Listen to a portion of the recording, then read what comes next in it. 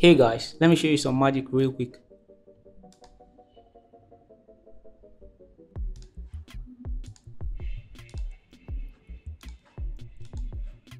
Voila! This is just how powerful LUTs are in Photoshop. LUTs are also known as lookup tables.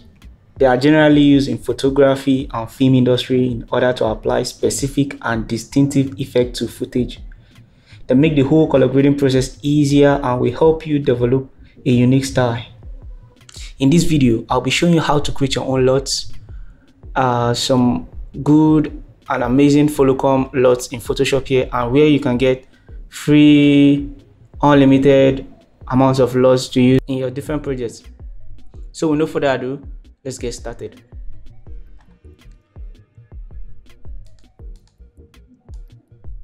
Let's delete this color lookup and start the whole process from the beginning. Come here and select the color lookup and right here you can see several Folocom uh, LUTs that you can use in your image.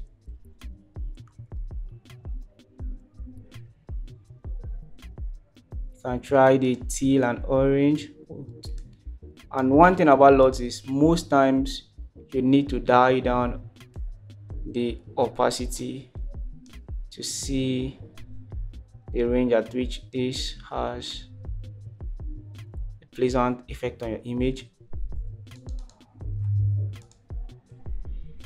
Can try another one. So with time you can experiment with the Folocom LUTs but most time we tend to uh, create color grading that seem beautiful and amazing to our eyes and we wonder if we can replicate this in another image this is where color lookup comes up you can save this as a LUT and apply to several other of your uh, future projects and uh, images.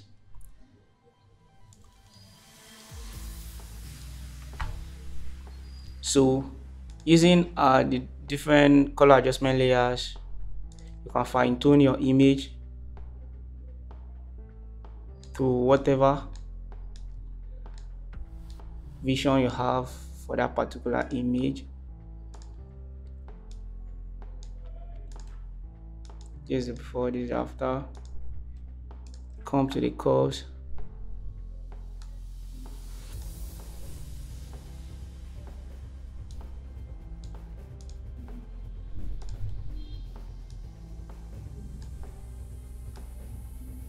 and make adjustments here and there just like you would do for any other image.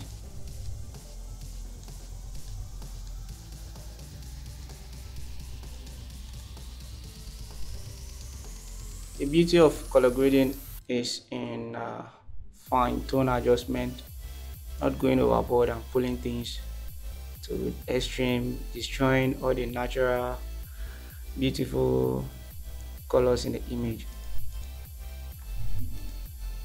But you can feel free and do whatever you like. The main purpose of this tutorial is how to create LUTs. So we'll not be wasting time here and there. Is something similar to the LUT I just applied. After creating all these color adjustment layers, fine tuning your image colors to your desired taste, in order to save the LUT, just come to your file, export, come down here to color lookup tables and click on it. You rename this description to whatever you like. And these are the formats you can save.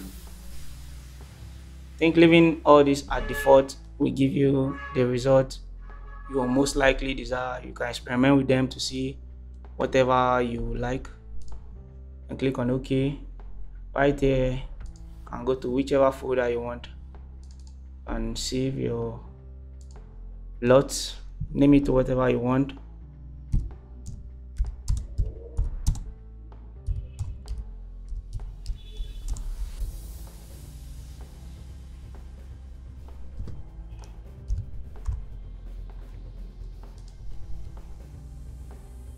wait for it to process.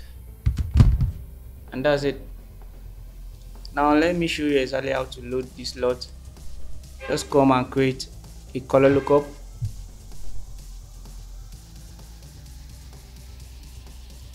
Load 3d LUTs. Click on load 3d and go to the folder where you save the LUT. Click on it. Load. Voila. Amazing. Very easy it's exactly how to create LUTs right here in photoshop. You can adjust the opacity to taste or even add more effects and whatever you want right here in photoshop. The limitations of using LUTs is one you can actually save a maxed out layer and all that. So sometimes when you get LUTs from outside from professionals you buy or you get for free or whatever you will tend to see that applying it to your image will have bad effect on maybe the, the skin of the portrait or any other aspect of the image. Just come over here to the layer mask take your brush make sure foreground is black and paint out the effect from wherever you do not want it to apply. As simple as that. That's exactly how to create save use and adjust LUTs share your thoughts in the comment section. Give us a thumbs up on this video. Uh, you can check us here on telegram where we create free resources from all over the place and share with ourselves.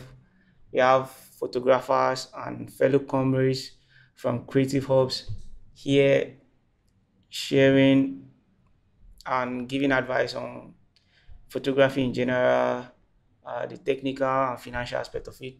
So you can join us. Link in the description to our Instagram homepage where you see a link to our Linktree where we see the Telegram page and other amazing free resources. Thanks for watching. See you in another video.